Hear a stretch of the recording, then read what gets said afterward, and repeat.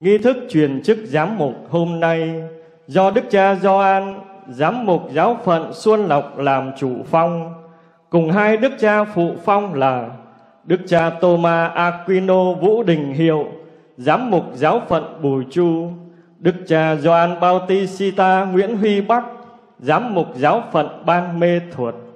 Chúng con kính mời quý đức cha tiến ra ghế trước bàn thờ.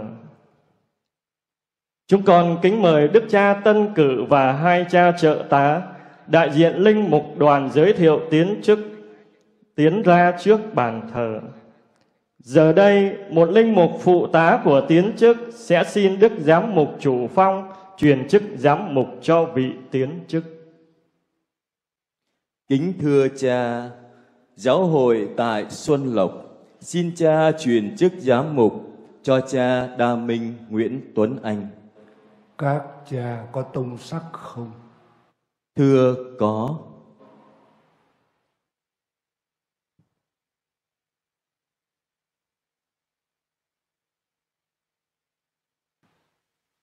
Xin cho đọc tông sắc.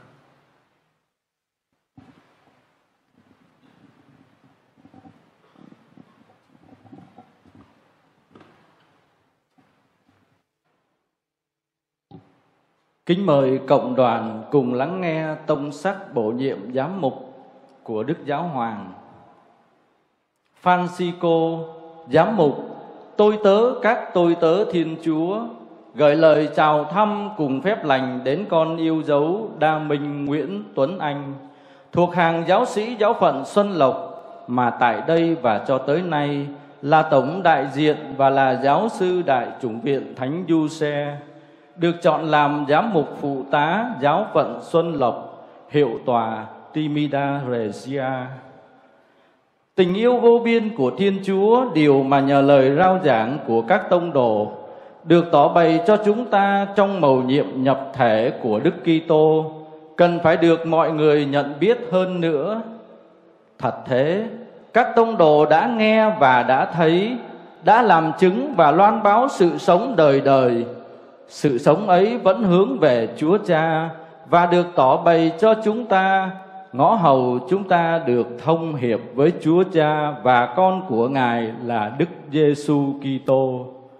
Bởi đó khi hiền đệ khả kính Gioan Đỗ Văn Ngân, giám mục giáo phận Xuân Lộc thỉnh xin một giám mục phụ tá hầu đáp ứng nhu cầu nơi giáo hội địa phương của Ngài.